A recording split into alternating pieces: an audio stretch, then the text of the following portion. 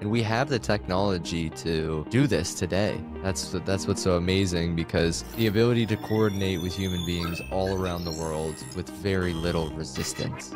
If we are to have the right relationship with the technology that allows us to collaborate. We also have the understanding of physics that allows us to develop more and more sophisticated, more and more advanced, but also cohesive propulsion technologies with nature that allow us to go into space with less friction, less energy.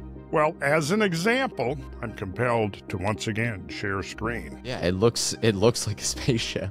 It looks like a rocket. The Earth can be restored as sort of the garden paradise of the solar system. Plus, it also provides the models we would need when we start creating our own biospheres in space. The Earth is our primary teacher. And that I think is what ultimately we're going to be doing is we're going to be establishing biospheres